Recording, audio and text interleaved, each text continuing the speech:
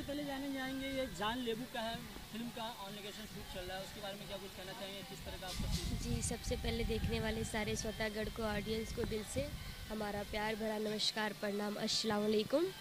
कैसे हैं आप लोग? उम्मीद करती हूँ कि आप लोग बहुत ही अच्छे होंगे और बताइए। इसमें आपका क्या रोल है मैडम इस फ़िल्म में जान लेबू का? जी अभी हम लोग मड में शूट कर रहे हैं। अ, इसमें रोल की बात कर रहे हैं आप तो जान लेबू का है। और इसमें मुख्य भूमिका में आप लोग को एक्टर में नज़र आएँगे दिनेश लाल यादव जी और एक्ट्रेस नज़र आएँगी अक्षरा सिंह जी। और मैं भी एक बहुत अहम किरदार, बहुत होता है कि फैमिली में सबको सबके बीच में खेलने वाली, कूदने वाली, बहुत प्यारा कॉन्सेप्ट है और बहुत मुख्य भूमिका में मैं भी नज़र आऊँगी। ये मैं अपने स्वतःगढ़ को नहीं बताना चाहूँगी, क्योंकि ये चीज़ अगर मैं बता देती हूँ तो सबको लगेगा कि चलो इस किरदार में है तो क्या देखने जाए। तो ये सारी चीज़ें सब छुपा रहे हैं इसलिए कि हमारे ऑडियंस हमारे लिए अपने चहेते दिनेश लाल जी के लिए, अपनी चहेती अक्षरा सिंह जी के लिए जाके थिएटर में इस पूरे कॉन्सेप्ट को देखे, इस पूरी फ़िल्म को देखे। बहुत प्यारा कॉन्सेप्ट है, बहुत यूनिक कॉन्सेप्ट है। इसके प्रोड्यूसर है श्रेष्ठ श्रीवास्तव जी और इसके डायरेक्टर हैं दिनकर कपूर जी। इसके डीओपी हैं मनोज कुमार जी। सो बहुत मज़ा आ रहा है अभी दिनेश जी जा भी रहे हैं।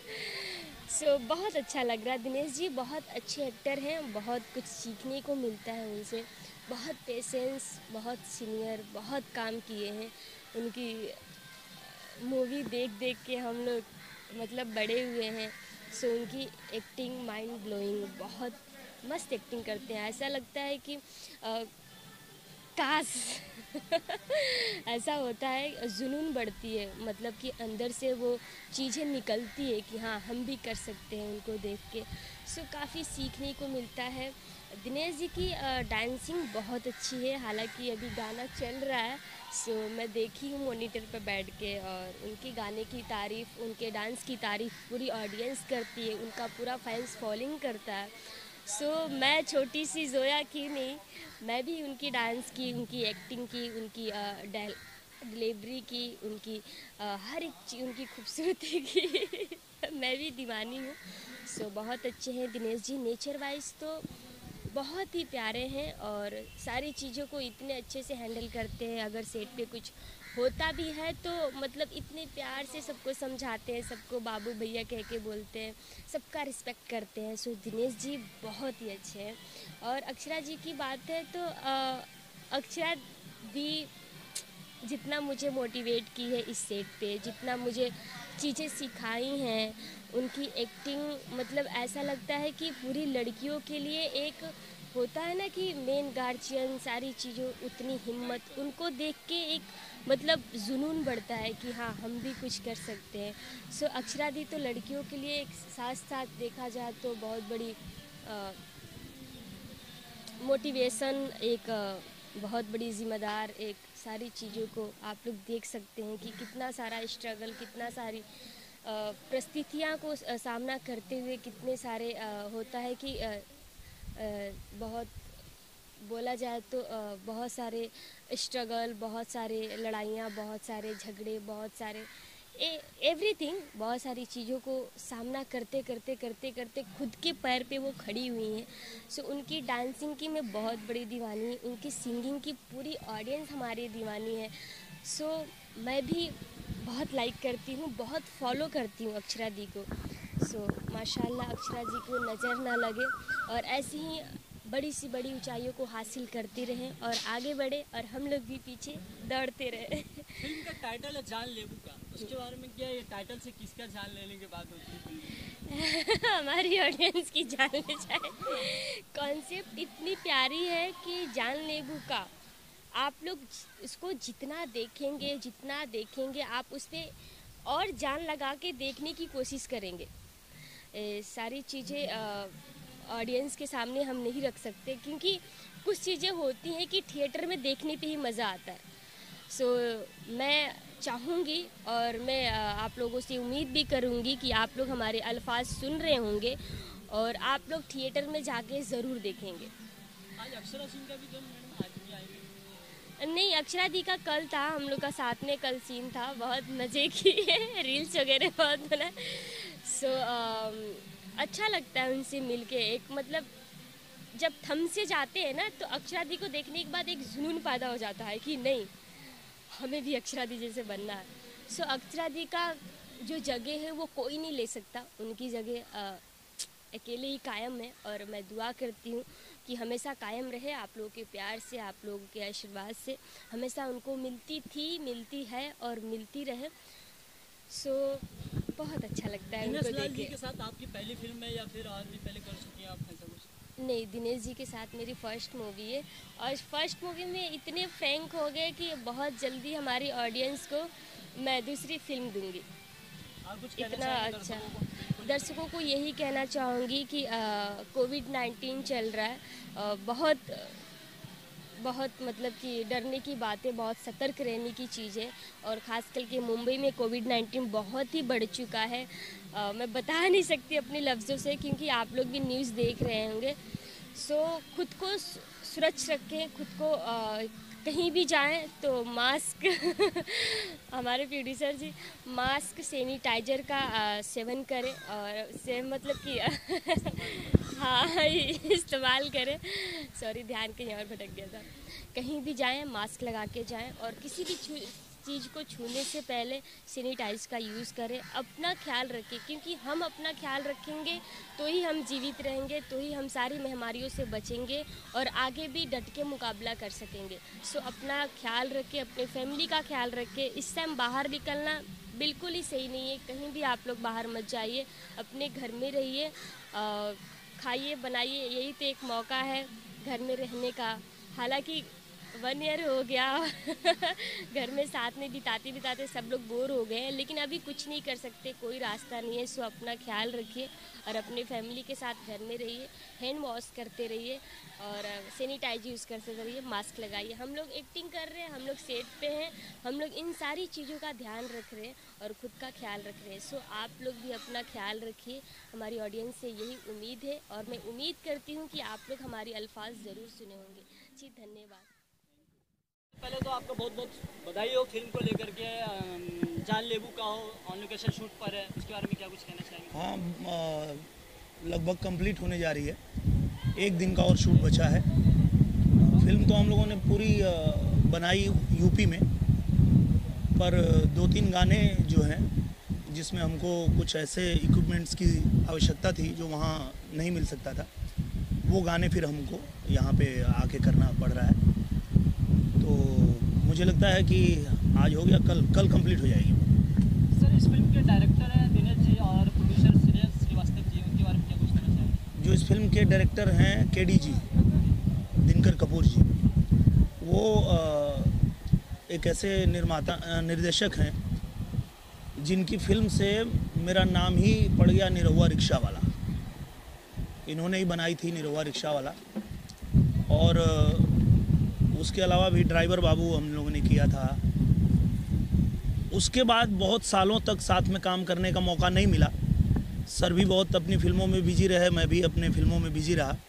प्रयास तो हम लोग कई बार किए, पर अब जाके संयोग बना जब हमारे श्रेय श्रीवास्तव जी आए और उन्होंने लॉकडाउन का फ़ायदा उठा करके और दोनों को ही एक साथ लेके आए।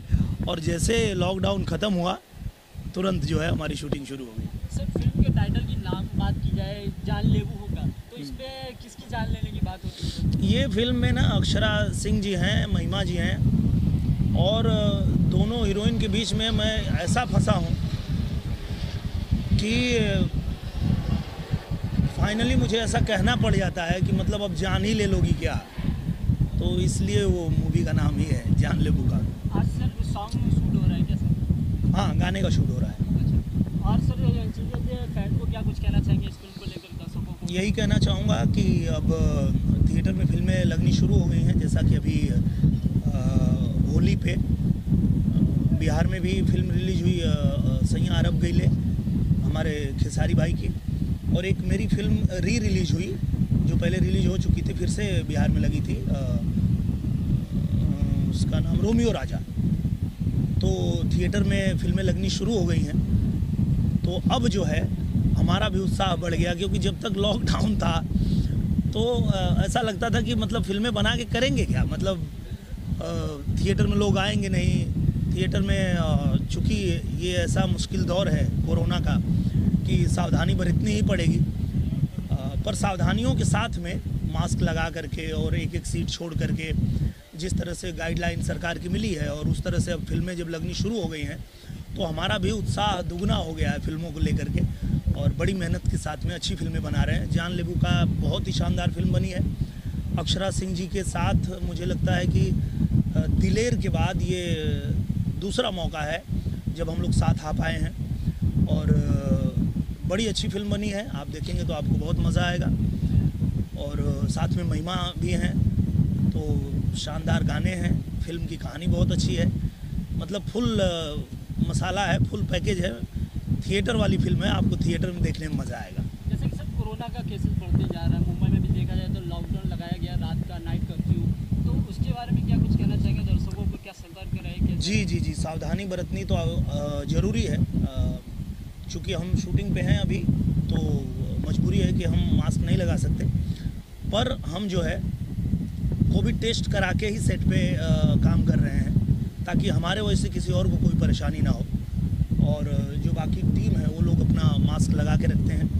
तो आप लोगों से भी यही निवेदन है कि आप जहाँ पे रहें मास्क लगाएँ हाथ सैनिटाइज करें और अपना ध्यान रखें अपने स्वास्थ्य का ध्यान रखें क्योंकि जान है तो जहान है। तो अपना ध्यान रखिए ख्याल रखिए यही आप सबसे निवेदन है मेरा। थैंक यू धन्यवाद। जान लेबू के का के बाद अभी मैं जा रहा हूँ बांदा, तुलसीदास जी के गाँव में एक फ़िल्म की शूटिंग करने, जिस फ़िल्म का नाम है फ़सल।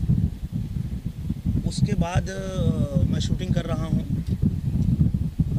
फ़सल के बाद एक फ़िल्म है सपना चौधरी जी के साथ, मजनू। और मजनू की शूटिंग के बाद अभी जो आर्मी की हम लोगों ने शुरुआत की थी, आर्मी फ़िल्म और एक और फ़िल्म, सुजीत जो हमारे डायरेक्टर हैं, सुजीत सिंह जी, उनकी दो फ़िल्म, फ़िल्मों की शूट, शूटिंग करनी है। और उसके बाद बारिश में इस बार मैंने प्लान किया है कि बरसात यहाँ ज़्यादा होती है शूटिंग नहीं हो पाती है। तो बारिश के समय तीन महीने मैं लंदन में रहूँगा और तीन फ़िल्में जो है वो मैं लंदन में कर रहा हूँ। और वहाँ से लौटने के बाद एक फ़िल्म है फ़सल। अभी जो है उसका फ़सल नाम नहीं, उसका नाम है सबका बाप अंगूठा छाप, जो मैं अभी जा रहा हूँ। लौटने के बाद करूँगा फ़सल और फ़सल के बाद एक फ़िल्म हम लोग प्लान कर रहे हैं, बहुत ही शानदार फ़िल्म। हमारे जो बिहार के थे महेंद्र मिसिर महेंद्र मिसिर जी के बारे में, जो यूपी बिहार के लोग हैं वो तो जानते ही हैं। पर एक ऐसे गायक थे, एक ऐसे कलाकार थे कि उनकी गायकी के, उनके गाने के आज भी लोग दीवाने हैं और उनके गाने को गायक लोग गाते भी हैं। और गायक के साथ साथ एक क्रांतिकारी भी थे, देशभक्त भी थे। और किस तरह से उन्होंने आज़ादी की लड़ाई में अपना योगदान दिया था, उनके ऊपर एक बायोपिक बन रही है जो हमारे रंजन सिंह जी बना रहे हैं। जिनके साथ मैंने विदेशिया किया था, जो आप लोगों को बहुत पसंद आई थी। और जब भी टीवी पे आती है फ़िल्म और लोग देखते हैं तो इतनी सराहना करते हैं कि आज देखा मतलब आपकी बेस्ट फ़िल्म लगी तो अच्छा लगता है। फिर से हम लोगों ने, चूँकि हमारे रंजन सर बहुत व्यस्त रहते हैं टीवी में, उनको समय निकालना बड़ा मुश्किल काम होता है। फिर भी हम लोगों ने रिक्वेस्ट किया कि ये फ़िल्म तो हम लोग चाहते हैं, हमारे निर्माता जो हैं वो भी चाहते हैं, मैं भी चाहता था कि रंजन सिंह सर ही करें। तो वो जो है, अभी तैयार हैं और वो हम फ़िल्म करने जा रहे हैं वैसे सर देखा जाए बॉलीवुड से ज़्यादा बॉलीवुड से ज़्यादा भोजपुरी लास्ट में सर देखा जाए तो बॉलीवुड से ज़्यादा अभी भोजपुरी का ज़्यादा बैक टू बैक फ़िल्में आ रही है तो कुछ इसके बारे में दर्शकों को क्या बताएँ उसका कारण ये है कि हमारे दर्शक भी सबसे ज़्यादा हैं। जो भोजपुरी सिनेमा है, उसके दर्शक जो है, आपको सिर्फ़ हिंदुस्तान में नहीं, हिंदुस्तान के बाहर भी आप किसी कंट्री में जाएँगे, वहाँ भी आपको भोजपुरी के दर्शक मिल जाएँगे। तो इसलिए डिजिटल पे भी और थिएटर में भी ज़्यादा फ़िल्में हमारी रिलीज़ होती है तो इसलिए हमको ज़्यादा बनाना भी पड़ता